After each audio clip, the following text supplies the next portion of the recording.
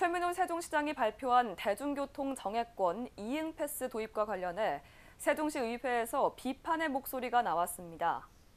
박란희 의원은 최민호 시장이 핵심 공약인 대중교통 무료화를 철회하고 공론화 과정 없이 이응 패스 도입을 도입했다며 급작스럽게 발표한 수정안에 오류가 있다고 지적했습니다.